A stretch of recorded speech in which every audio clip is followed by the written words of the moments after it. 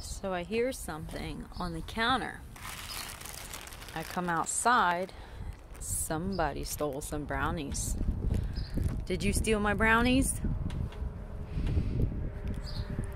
You trying to eat brownies for breakfast? Yeah, you trying to get them now. No brownies, no chocolate.